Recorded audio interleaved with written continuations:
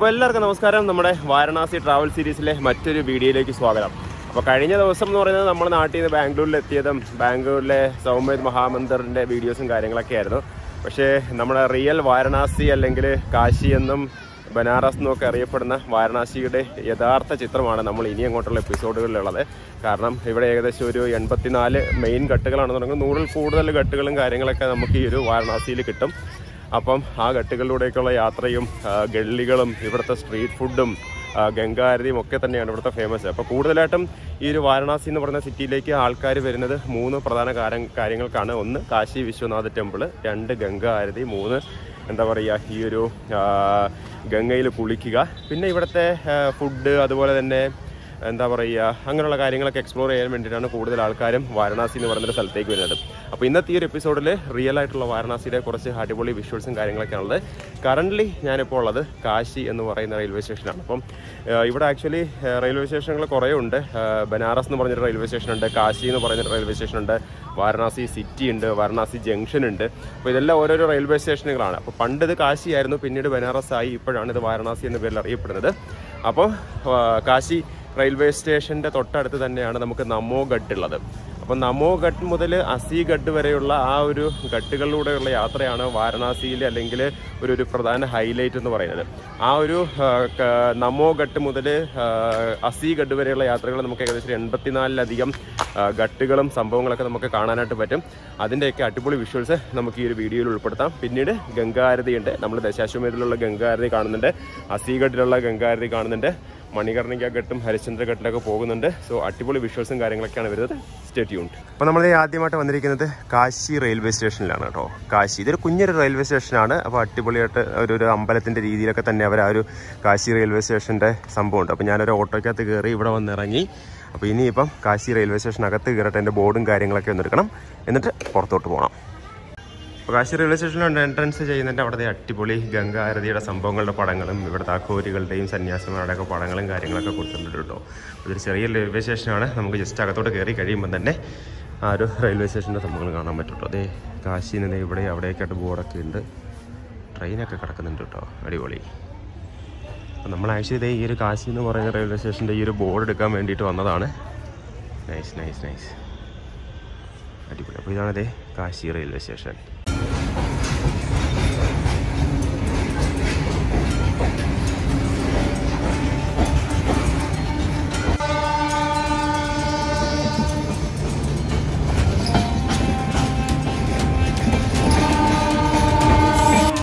Kashi railway സ്റ്റേഷനിൽ ഇറങ്ങിയിട്ട് ഞാൻ ദേ ഒരു ഗള്ളി ഗള്ളിയല്ല ഇതൊരു ഒരു സൈഡ് വഴിയിട്ട് ഞാനിപ്പം ദേ നമ്മോ ഘട്ടിലേക്ക് പോയിക്കൊണ്ടിരിക്കുകയാണ്. അപ്പോൾ ആ ഒരു നമ്മോ ഘട്ടിൽ നിന്നാണ് നമുക്ക് വാരണാസിയിലെ പ്രധാനപ്പെട്ട ഘട്ടുകളെല്ലാം സ്റ്റാർട്ട് ചെയ്യുന്നത്. അപ്പോൾ ആ ഒരു നമോ ഘട്ടിൽ നിന്നും അസി ഘട്ട് വരെയുള്ള ഫുൾ കാഴ്ചകൾ നമ്മൾ അടുത്ത രണ്ട് എപ്പിസോഡുകളിലായിട്ട് ഇടുന്നതായിരിക്കും കേട്ടോ.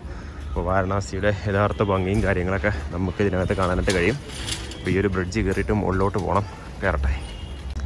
അപ്പോൾ നമ്മൾ ആദ്യമായിട്ട് ദേ നമ്മോ ഘട്ടിലാണ് എത്തിയിട്ടുള്ളത്. അപ്പോൾ നമ്മോ ഘട്ട് അത്യാവശ്യം നല്ല രീതിയിൽ മെയിന്റെയിൻ ചെയ്തിട്ടിരിക്കുന്ന ഒരു ഘട്ടമാണ് കേട്ടോ. അപ്പോൾ ഇവിടെ നമ്മോ നമോ നമസ്തേ ഒക്കെ പറയുന്ന രീതിയിലുള്ള കൈയുടെ ആ ഒരു സംഭവങ്ങളും കാര്യങ്ങളൊക്കെ ഉണ്ട്. കുറേ സ്കൂൾ കുട്ടികളൊക്കെ വന്നിരിക്കുന്നുണ്ട് കേട്ടോ. അവിടെ ഫോട്ടോയും കാര്യങ്ങളൊക്കെ എടുക്കാനായിട്ടുള്ളത് നമ്മോ ഘട്ടിനാണ് ഇവിടെ ആക്ച്വലി തമിഴ് എന്തോ സംഘം നടക്കുകയാണ്. വണക്കം കാശി എന്നൊക്കെ എഴുതിയിട്ട് കാശി തമിഴ് സംഘം എന്തോ പരിപാടിയൊക്കെ നടന്നുകൊണ്ടിരിക്കുന്നുണ്ട്. കുറേ ദിവസമായിട്ട് ഇവിടെ പരിപാടിയും പ്രോഗ്രാംസ് ഒക്കെ ഉണ്ട് എന്നാണ് ഞാൻ അറിഞ്ഞത്. ദേ നമ്മോ ഘട്ട്. കുറേ കുട്ടികളും സ്കൂൾ കുട്ടികളും സംഭവങ്ങളൊക്കെ ഉണ്ട് കേട്ടോ. നൈസ് അതേ ഗംഗാ നദിയും അതിന് മുകളിലൂടെയുള്ള ഒരു പാലവും ഈ ഒരു സൈഡിലായിട്ട് നമുക്ക് ആ ഒരു നമോ ഘട്ടം കാണാനായിട്ട് പറ്റും കേട്ടോ. ഇവിടെ കണ്ടില്ലേ കൈകളുടെ രൂപത്തിലുള്ള സംഭവമൊക്കെ ആയിട്ട് നമോ നമഹ എന്നൊക്കെ എഴുതി വെച്ചിട്ടുള്ളൊരു സംഭവമൊക്കെ ഉണ്ട് കേട്ടോ. അപ്പോൾ നമ്മൾ ഘട്ടിൽ നിന്ന് നമ്മളെങ്ങനെ അടുത്ത ഘട്ടിലോട്ട് നടന്നുകൊണ്ട് പോകണം ഇവിടെ പട്ടമൊക്കെ പറപ്പിക്കുന്ന ഒരുപാട് കുട്ടികളൊക്കെ കാണാൻ പറ്റും കേട്ടോ. പിന്നെ ഒരുപാട് ചാറ്റും കാര്യങ്ങളൊക്കെ വിൽക്കുന്നവർ എന്താ കുറേ പരിപാടികളുണ്ട് ഇവിടെയൊക്കെ. ഈ ഗംഗയിൽ കൂടെ കുറേ ആൾക്കാർ എന്താ പറയുക ബോട്ടിങ്ങും കാര്യങ്ങളൊക്കെ ചെയ്യുന്നുണ്ട്. അപ്പോൾ ഇങ്ങനെ ഒരു ഒരു ചന്ദ്രക്കല കണക്കാണ് ഈ ഒരു സംഭവം കിടക്കുന്നത്. അപ്പോൾ ആ ഒരു വിന്ററിന്റെ ആ ഒരു മൂടൽമഞ്ഞ് സംഭവങ്ങൾ ഉള്ളതുകൊണ്ടാണ് നമുക്കത് ക്ലിയർ ആയിട്ട് കാണാൻ പറ്റാത്തത്. അല്ലെങ്കിൽ ഇവിടെ നോക്കിക്കഴിഞ്ഞ് കഴിഞ്ഞാൽ ആ ഒരു ഘട്ടും അതിന്റെ ഫ്രണ്ടിലത്തുള്ള വ്യൂവും കാര്യങ്ങളൊക്കെ നമുക്ക് നല്ലപോലെ കാണാൻ പറ്റുന്നതാണ്. പക്ഷേ ഇപ്പോൾ ആ ഒരു ഡിസംബർ സമയം ആയതുകൊണ്ടാണ് നമുക്ക് ആ ഒരു ക്ലിയർ നമുക്ക് കിട്ടാത്തത്. അതേ കണ്ടില്ലേ? ഇഷ്ടംപോലെ ബോട്ടും കാര്യങ്ങളൊക്കെ ഉണ്ട്. അപ്പോൾ ഈ ഒരു ബോട്ടിനകത്തൊക്കെ നമുക്ക് കയറി പൈസ കൊടുത്തു കഴിഞ്ഞാൽ നമ്മളെ അവർ ഈ ഒരു ഘാട്ടുകൾ ഫുള്ള് ഗംഗാ നദിയിൽ കൂടി കൊണ്ട് നടന്ന് കാണിക്കുകയൊക്കെ ചെയ്യും. അത്യാവശ്യം റേറ്റും കാര്യങ്ങളൊക്കെ ഉണ്ടാവും. അതുപോലെ തന്നെ ഗംഗാ ആരതിയും നമുക്ക് ഇതിനൊക്കെയുള്ള ബോട്ടുകളിലൊക്കെ ഇരുന്ന് കാണാനായിട്ട് പറ്റും കേട്ടോ അപ്പോൾ നമ്മളിപ്പോൾ ഈ അടുത്ത ഘട്ടിലോട്ട് അങ്ങനെ നടന്ന് പോയിക്കൊണ്ടിരിക്കണം അപ്പോൾ എല്ലാ ഘട്ടുകളും ഇങ്ങനെ കണക്റ്റഡ് ആണ്. നമുക്കൊരു ഘട്ടിൽ നിന്ന് തന്നെ നടന്ന് കടന്ന് ഇങ്ങനെ അടുത്ത ഘട്ടിലോട്ട് പോയി പോയി പോയി പോയിക്കൊണ്ടിരിക്കാം അപ്പോൾ ദേ ഇവിടെ നദിയിൽ കുറേ തടികളും കാര്യങ്ങളൊക്കെ. അപ്പോൾ ഇതൊക്കെ ആക്ച്വലി ഹരിശ്ചന്ദ്രഘട്ട് മണികർണീയ ഘട്ടിലോട്ടൊക്കെ ശവം ദഹിപ്പിക്കുന്നതിന് വേണ്ടി കൊണ്ടുപോകുന്ന തടിയും കാര്യങ്ങളും ഒക്കെയാണ്. അപ്പോൾ നമ്മളിപ്പോൾ രാജ്ഘട്ട് എന്ന് പറഞ്ഞിട്ടുള്ള ഒരു ഘാട്ടിൽ വന്നിട്ടുണ്ട്. അപ്പോൾ ഘാട്ട് എന്ന് പറയുന്നൊരു കോൺസെപ്റ്റ് എന്ന് പറഞ്ഞു കഴിഞ്ഞാൽ ഈ ഒരു സ്റ്റെപ്പുകളാണ്. അതായത് വാട്ടർ ബോഡിയിലേക്ക് ഇറങ്ങി ചെല്ലുന്ന സ്റ്റെപ്പുകളെയാണ് നമ്മൾ പൊതുവേ ഘാട്ട് എന്നറിയപ്പെടുന്നത്. അതായത് ഈ ഒരു നദിയിലേക്ക് ഇറങ്ങി ചെല്ലുന്ന സ്റ്റെപ്പുകൾ പടവുകൾ. അപ്പോൾ അതാണ് ഘാട്ട് എന്ന് പറയുന്നതിന്റെ ആക്ച്വൽ മീനിങ് എന്ന് പറയുന്നത്. അപ്പോൾ ദേ രാജ്ഘട്ട് എന്ന് പറഞ്ഞിട്ടുള്ളൊരു സ്ഥലത്ത് നമ്മളിപ്പം കറണ്ടിൽ വന്നിട്ടുണ്ട്. അത്യാവശ്യം ആളും പേരൊന്നും ഇല്ലാത്ത കെട്ടുകളാണ്. അപ്പോൾ നമ്മൾ ഇങ്ങനെ നടന്ന് പോയിക്കൊണ്ടിരിക്കുക കേട്ടോ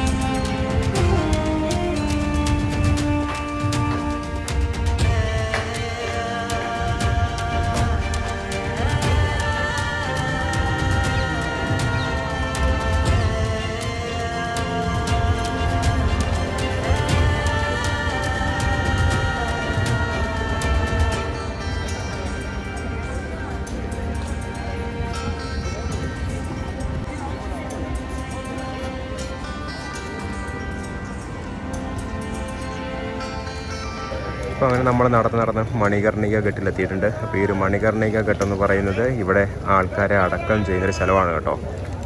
അപ്പോൾ ഇതേ കണ്ടല്ലേ ഇവിടെ ഒരുപാട് ചിതകൾ അങ്ങനെ കത്തിക്കൊണ്ടിരിക്കുന്ന കാണാം. ഇരുപത്തിനാല് മണിക്കൂറും ചിതകൾ കത്തിക്കൊണ്ടിരിക്കുന്ന ഒരു സ്ഥലമാണ് കേട്ടോ മണികർണിക ഘട്ടെന്ന് പറയുന്നത്.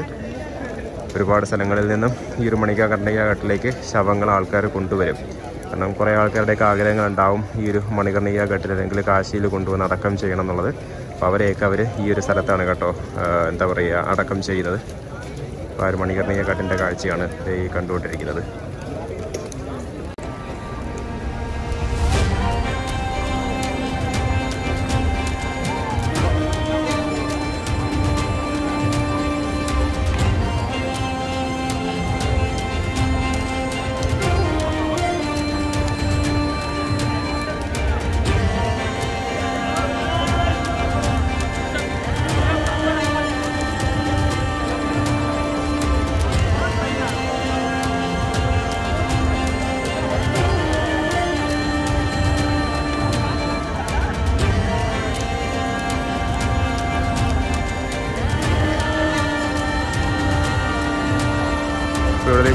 കൊണ്ടുപോയി ആ ഗംഗയിൽ കുളിപ്പിച്ചിട്ടാണ് തിരിച്ച് ഈ ഒരു മണികർണിക ഘട്ടിൽ കൊണ്ടുവന്നിട്ട് അടക്കം ചെയ്യുന്നത്. എന്നിട്ട് ഇതിന്റെ ആ ഒരു ഭസ്മം അവർ ഈ ഒരു ഗംഗാ നദിയിൽ തന്നെ നിമജ്ഞനം ചെയ്യും. അതിന് തൊട്ടിപ്പുറത്തായിട്ട് നമുക്ക് നേരെ കാശി വിശ്വനാഥ് ടെമ്പിളിന്റെ സംഭവങ്ങളും കാര്യങ്ങളൊക്കെ കാണാം. ഈ ഒരു ഗോപുരങ്ങളൊക്കെ കാണുന്നത് ആ ഒരു കാശി വിശ്വനാഥ് ടെമ്പിളിന്റെ സംഭവമാണ് കേട്ടോ. അതേ Manikarnika Ghat where these celebrated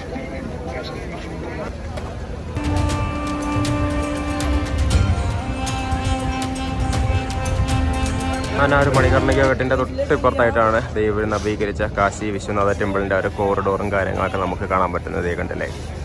ആ ഒരു സ്റ്റെപ്പ് കയറി അങ്ങോട്ട് ചെന്ന് കഴിഞ്ഞാൽ ആ ഒരു വിശ്വനാഥ ടെമ്പിളിന്റെ സൈഡിലേക്കാണ് നമ്മൾ എത്തുന്നത്. ഇതിപ്പം അടുത്തായിട്ട് പണി കഴിപ്പിച്ചൊരു സംഭവമാണ് ഗംഗയിലേക്ക് വന്ന് ഇറങ്ങുന്ന ഒരു കാശി വിശ്വനാഥ ടെമ്പിളിന്റെ സൈഡ്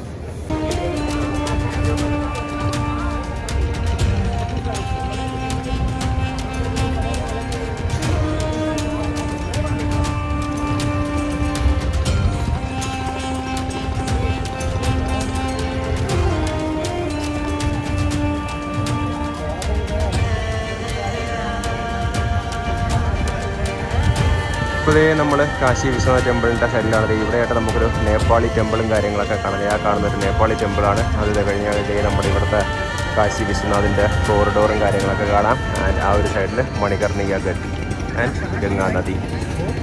ഒരു രക്ഷയില്ലാത്ത വൈബാണ് കേട്ടോ ഇവിടെ ഒരുപാട് ആൾക്കാർ ബോട്ടിലൊക്കെ കയറിയിട്ട് പല ഘട്ടുകളിലോട്ടും പോകുന്നുണ്ട്. ഇവിടെ നിന്ന് കയറി ആസി ഘട്ടിലോട്ടൊക്കെ പോകുന്ന ബോട്ടുകളൊക്കെ ഉണ്ട്. ഇഷ്ടം പോലെ ബോട്ടിങ്ങും കാര്യങ്ങളൊക്കെ നമുക്ക് ആ ഒരു സൈഡിൽ കാണാനായിട്ട് വരും കേട്ടോ. അപ്പോൾ അവിടെയായിട്ടാണ് കുറച്ചുകൂടെ അപ്പുറത്തോട്ടാണ് നമ്മുടെ ദശാശ്വമേത് ഘട്ട്. വൈകുന്നേരങ്ങളിൽ ഗംഗാരതിയും കാര്യങ്ങളൊക്കെ നടക്കുന്നത്.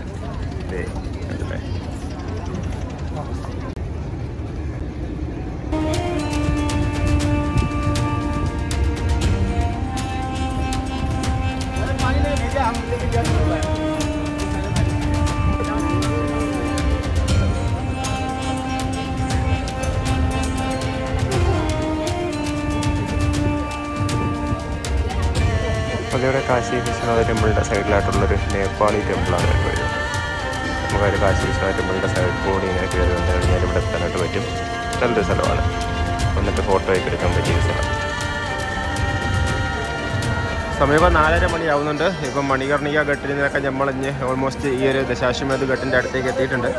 അപ്പോൾ ഇവിടെ ഇനിയിപ്പം ഗംഗാരതി കാണാനുള്ള ആൾക്കാരുടെ തിരക്കും കാര്യങ്ങളൊക്കെയാണ് ഇവിടെ കാണുന്നത്. അപ്പോൾ ഈ ഒരു ബോട്ടിനകത്തൊക്കെ നമ്മളെ കൊണ്ടുപോയി ഗംഗാരതിയുടെ മുമ്പിൽ നിർത്തി കാണിക്കും.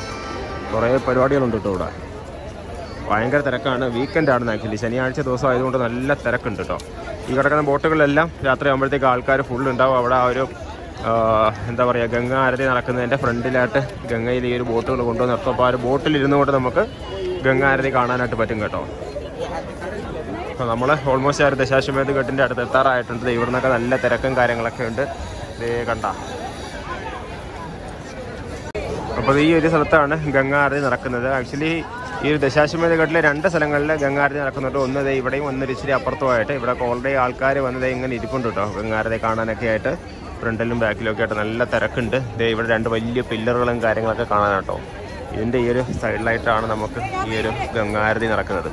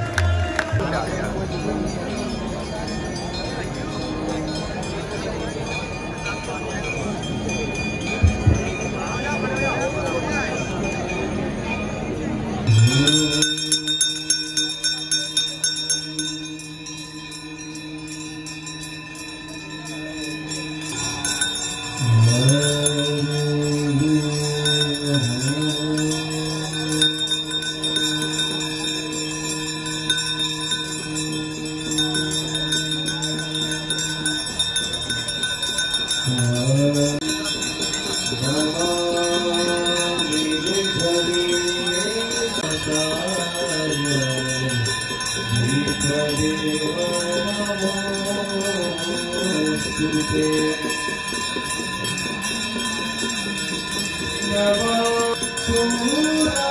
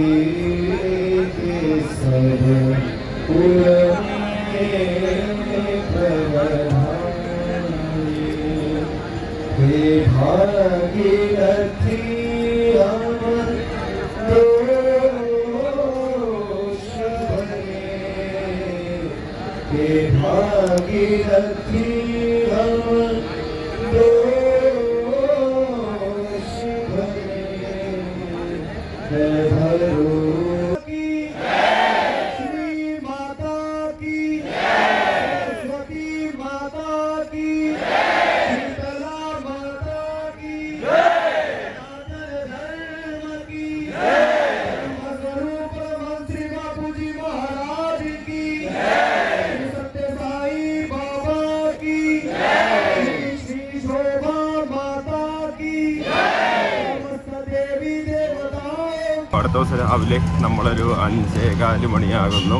ആ, ഇവന്ന് അസീഘട്ടിലെ രാവിലത്തെ ഗംഗാരതി കാണാൻ വേണ്ടിയിട്ട് പോവുകയാണ് കേട്ടോ രാവിലെ ഇതേ നോക്കിക്കോ. കഴിഞ്ഞ ദിവസങ്ങളിലൊക്കെ നമ്മൾ തിരക്ക് കണ്ടിരുന്ന ടൗണാണ്. ഇന്നൊരു മനുഷ്യനില്ല. രാവിലെ അമ്പലത്തിൽ പോകുന്ന കുറച്ച് ആൾക്കാർ മാത്രമേ ഉള്ളൂ കേട്ടോ സെറ്റ്. അപ്പോൾ ഞാൻ ഇങ്ങനെ ഒരു ഫോട്ടോസ് പിടിച്ചിട്ട് അസീഘട്ടിലോട്ട് പോയിക്കൊണ്ടിരിക്കുകയാണ്. രാവിലെ അഞ്ചേ മുക്കാലൊക്കെ കഴിയുമ്പോഴത്തേക്ക് അവിടെ ഗംഗാരതിയുണ്ട് അപ്പോൾ അത് കാണുകയാണ് നമ്മുടെ ഇന്നത്തെ ലക്ഷ്യം. പിന്നെ ബാക്കി കുറച്ച് പരിപാടികളൊക്കെ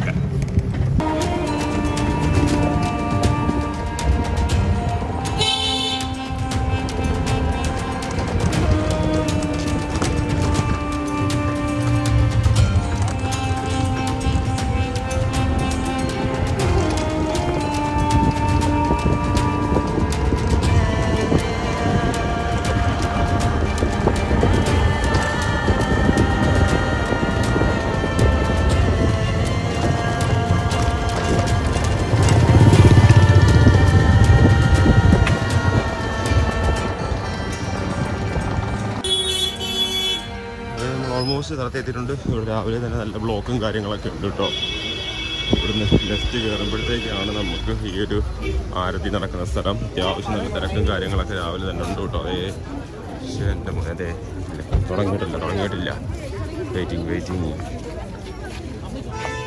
आखिर नसीब पर शान भाव चले उन शक्तियों का आह्वान होता है जिनसे सृष्टि के देते हैं जिनसे हमारा आपका अस्तित्व है।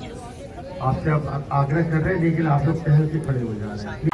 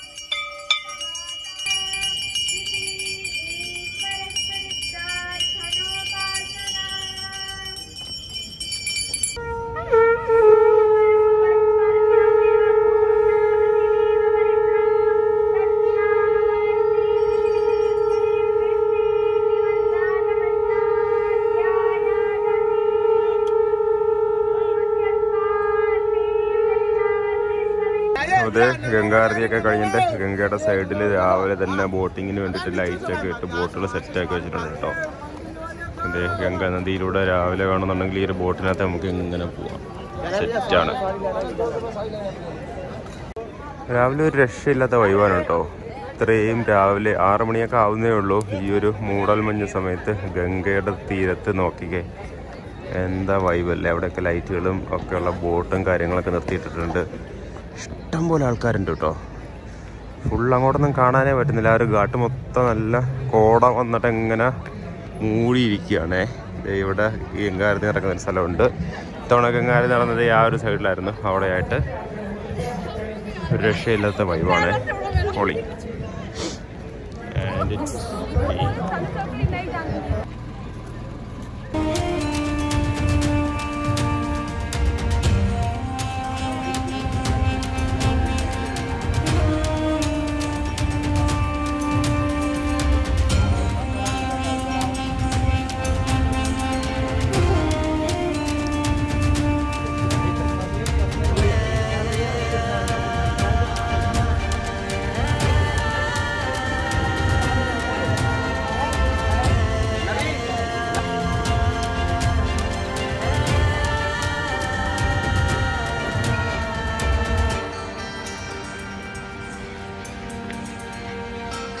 അപ്പോൾ രാവിലത്തെ ഹസീഘട്ടിലെ ഗംഗാരതിയൊക്കെ കഴിഞ്ഞിട്ട് ഞാൻ എങ്ങനെ ഘാട്ടിലൂടെ തിരിച്ച് നമ്മുടെ ദശാശ്വമേധ ഘട്ടിലോട്ട് അങ്ങനെ നടന്നു പോയിക്കൊണ്ടിരിക്കുകയാണ് ഇവിടുത്തെ ഇത് കണ്ടില്ലേ? Set set set. രാവിലെ ഒരു മൂടൽ മഞ്ഞാണ്. ഇപ്പോഴും സമയം ഇപ്പോൾ എത്രയായി ഏഴ് മണിയാവുന്നുള്ളൂ. ഏഴ് മണിയായിട്ടും മൂടൽ മഞ്ഞും ഒക്കെയാണ്. സൺറൈസ് ഒന്നും ആയിട്ടില്ല. സോ അപ്പോൾ ഇതാണ് ഹരിശ്ചന്ദ്രഘട്ട് എന്ന് പറയുന്ന സംഭവം. അപ്പോൾ ഇവിടെയും ആക്ച്വലി എന്താ പറയുക ഈ ശവങ്ങളൊക്കെ അടക്കുന്ന ഒരു സ്ഥലമാണ്. പക്ഷേ ഇപ്പോൾ അധികം ഇവിടെ ഇല്ലാന്ന് തോന്നുന്നു. കൂടുതലും ആ ഒരു മണികർണീയ ഘട്ടിലാണ് ശവമടക്കം കാര്യങ്ങളൊക്കെ കൂടുതൽ നടക്കുന്നത്. പക്ഷേ ഇവിടെ ഉണ്ട്. തടിയും ബാക്കി കാര്യങ്ങളൊക്കെ വെച്ചിരിക്കുന്നത് കാണാനായിട്ട് പറ്റും. അതുപോലെ തന്നെ ആ ഒരു സൈഡിലായിട്ട് പൂജയും സംഭവങ്ങളൊക്കെ നടക്കുന്നുണ്ട്. ദൈവം കണ്ടില്ലേ? ഹരിശ്ചന്ദ്രഘട്ട്.